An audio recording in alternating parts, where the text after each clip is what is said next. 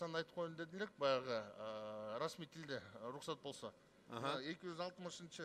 беренеде салык кодексинде э, мындай деп жазылган да экспорт работы услуг является поставкой освобожденной от ндс деп. Анан ошондуктан баягы бирдиктүү болсун деп баягы принциптердин бирине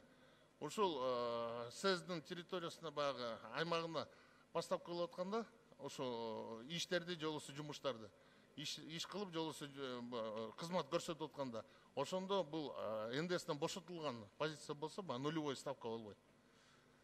ошону эле баягы өзүбүздүн бир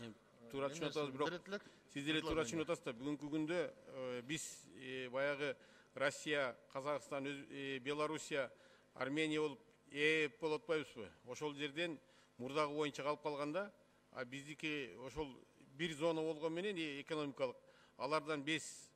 кошумча нарк алабыз дагы биздикин кошумча нарк менен алышып атат да ошону бирдей шартка келтирип коелу дегенде сөз болуп жатат бул жерде жок жок бул баягы товар товарга ноль деп биз макулбуз а именно работа услуги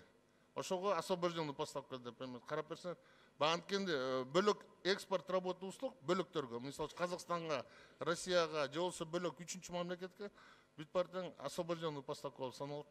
бирдиктүү болсун деп бул эми биринчи окуу болуп проект болуп атат сунушуңуздарды берсеңиздер чогуу ооба карайлы ошо карайлы жөнөтсөңүздөр карап берет